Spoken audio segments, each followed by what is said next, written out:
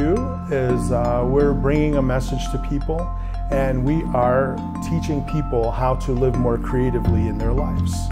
So you ask how we do that. Well, we do that through film, we do that through seminars and workshops, and we do it through our outreach programs because so many things are thrown at us on a daily basis that we don't know how to deal with them, right?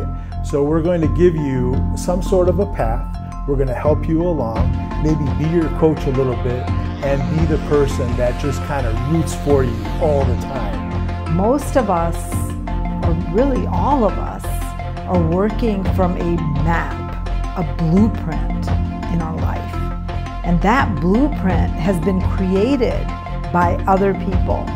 You know, your parents, your siblings, your teachers, your friends, the culture.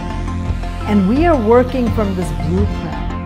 And what we're about is to help you to go beyond that blueprint so that you can really discover the highest potential, your highest potential, in being able to create a life that you love.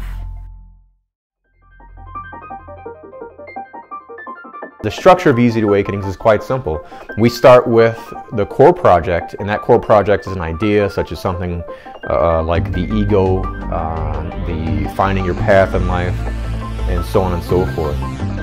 And that project then spreads into different phases, and we have a phase for documentaries, we have a phase for educational material, uh, seminars, workshops, retreats, outreach programs where we travel the world and take this message to different countries that don't normally have the opportunity to, you know, understand and explore concepts in education such as this because they're so uh, wrapped up in just trying to survive.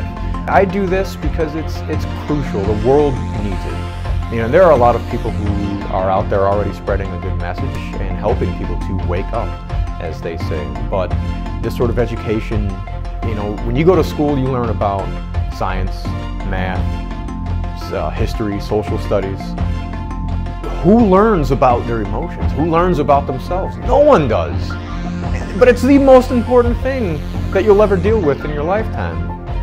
You know, I mean, it's everyone, of course, we all need uh, STEAM, as, as they refer to it, but we also need to understand ourselves. We need to understand why we get upset, and we need to understand how to control ourselves when we are sad, when we're happy we need to understand how we work and why we work the way that we do.